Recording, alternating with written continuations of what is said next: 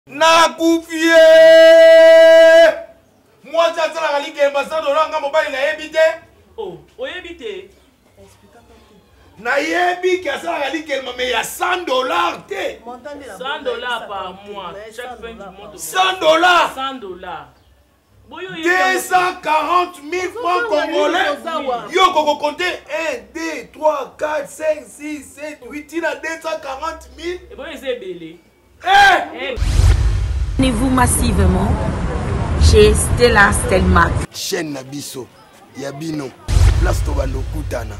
awa esalaki borata decor te je vous appelle les abacous devenez ma votre petit doigt na stella stelmak tv chez votre sœur lille des abacous la combattante sb stella stelmak eye na makambo ya sika na ba formule ya lolenge na yango biso moko donc ba roi du rire na ba reine du rire toza wana désormais bagag émission éducative politique bolukanga place mosusu te ka awa ba film proprement dit elubu ezali télé réalité ezali bémission musique ya makambo ya bien bien bien na stela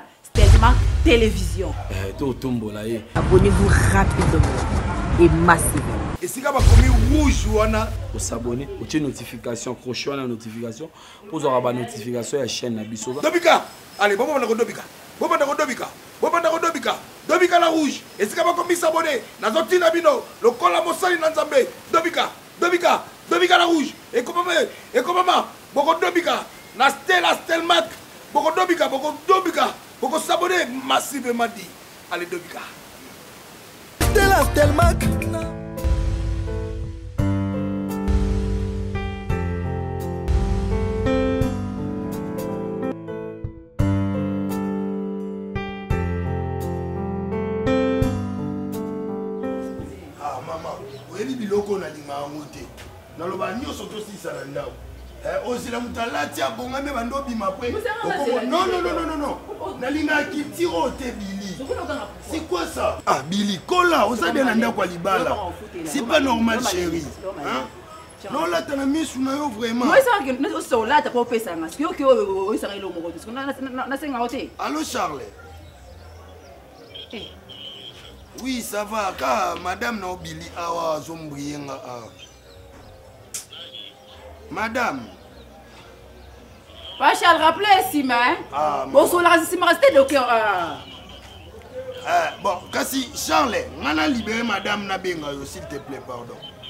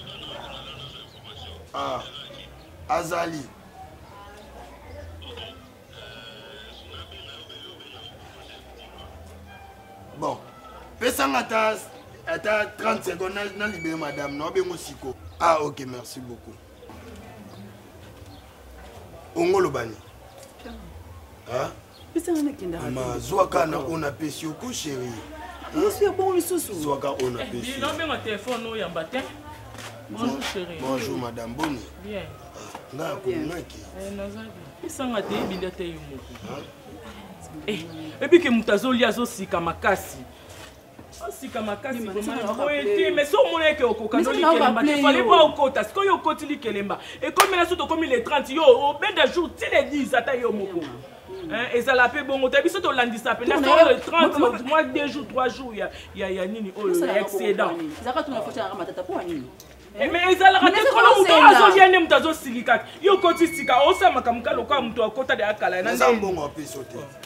mobali no yoyo mpe aza apesa mbongo opesa ngainakota mama na binoaza mbongo apesi omoni siko ade aza mbongo apesa nga te eza asa siko seke lelo eza mpe te bilima ezo ngai yo mai fa okota no moto andambu mama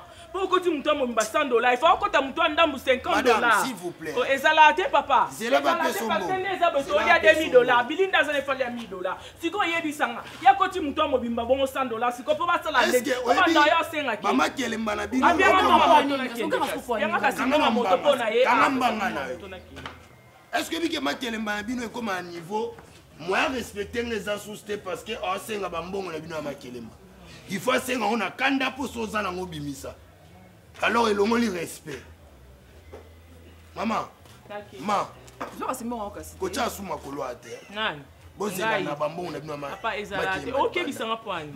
naamwasa mutu pe jour otya makolo awa okomprendre nga lokwa yo amwasa mutu nga na mobali ya ibu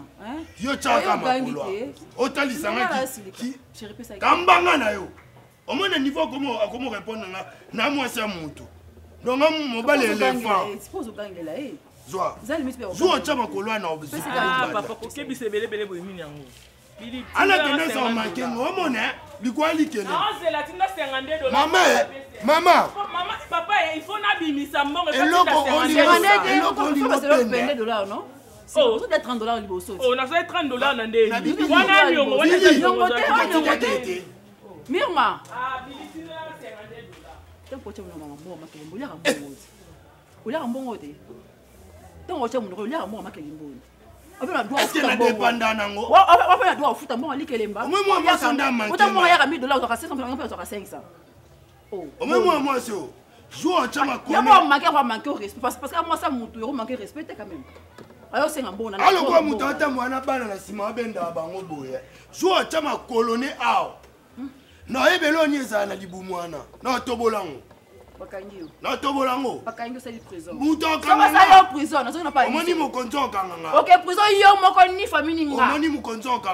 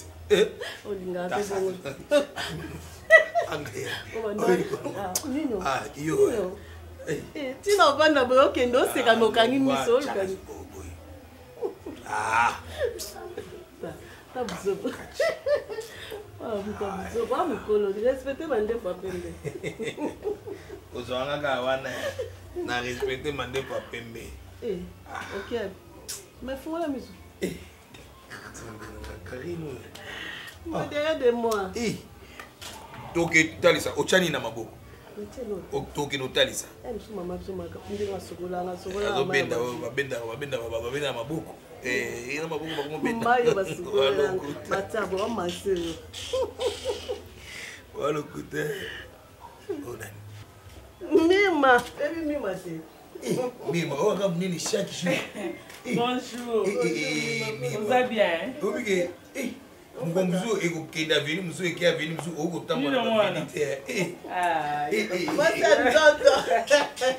c'est pas possible boza bienbovandi boya na moure en tout cas bino bwaka son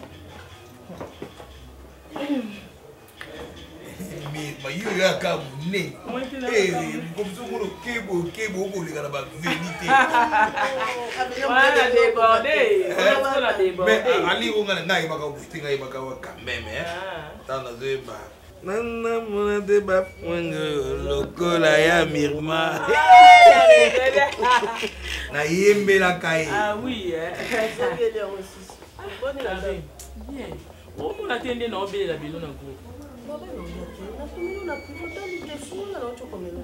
nga namoni na ngai te sikoyo sikoyo lokola toza wana deja nani asal akomi da na ndako sifa aza na ndako siko tosa ndeni oye moto aolia mama eza problème te yo tindelanga ka oyo oh, wana sikoyo yango nga mona komi aluka ah, mpe ya moda azani ka wana apesanga mbama nga akende apesanga mbongo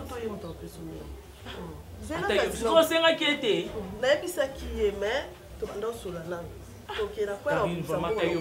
yebi bien ke donc nde eza boye mbongo wana il faut na devoir yango kasi sikoyo sikoyo oyebisanga nga nakenda ndengeah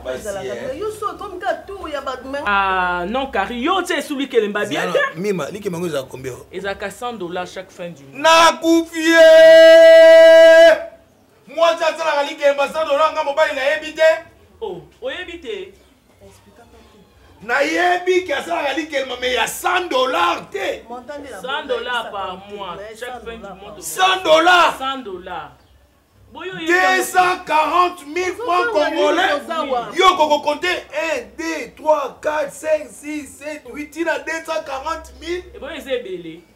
Eh! ebele te 100 dollars ya moke kutu nde eza liboso tolanda osala le 15 totie 100 dollars le 30 totie 100 dollars tokomi topusi yango kaka nde ekomi kamba mo chaque fin du mois 100 dollars ah. ah oui sikoyo nde ye aza moto wana atyelaki ye te nde eza baotyaka moto ya ndambo mwasi akomi lokuta chaque jour papa ozobela mama osilisi bato nyonso na kobela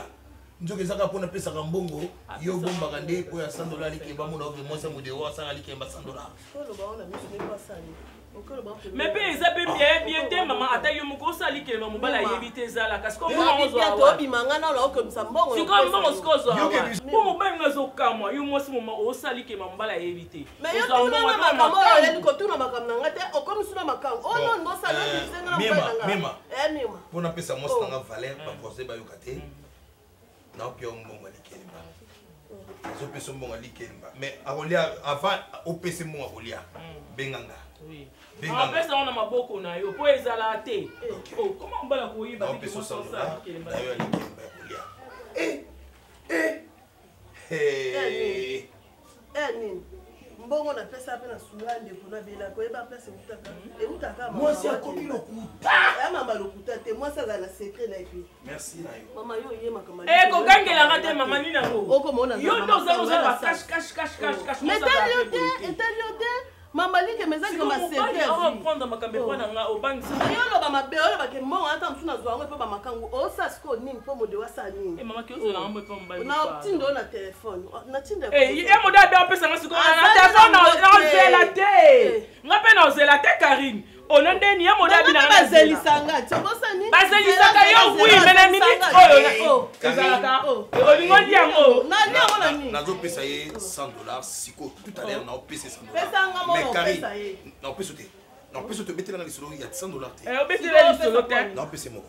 ma 100 dollars yango oyo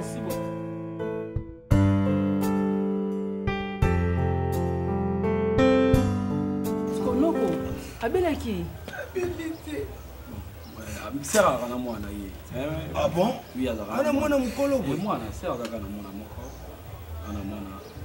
moko abeni kaka te boye alali mama akufi na ye oui alalaki na butu ba malaise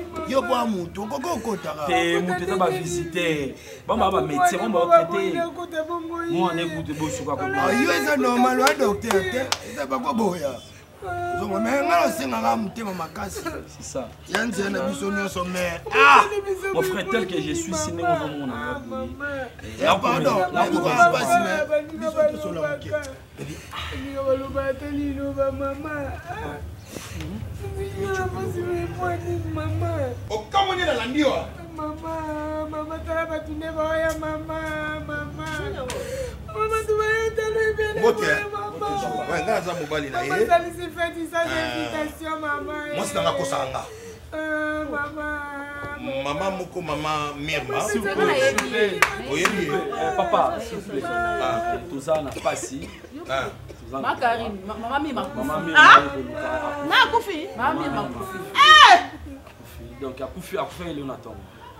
ah, aza akufeli wapi botie na morgue ndenge nini nano babeki bato aza na baningo na bango te botie na morgue atie mbongo na biso wapi mama mawana te mama oyebi kofongoninga misu nga mpe na mobali na ye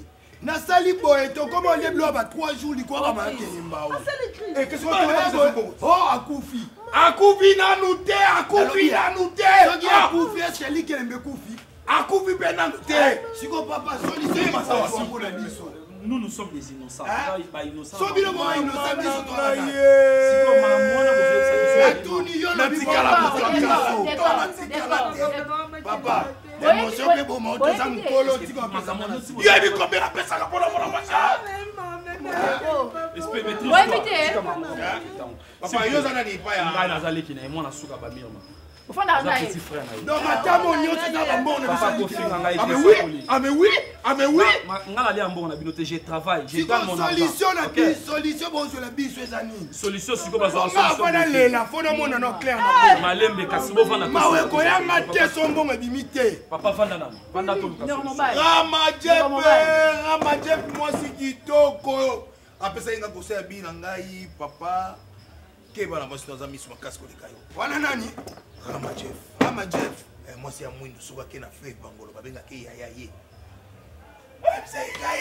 yo nani na ye yo nani na ye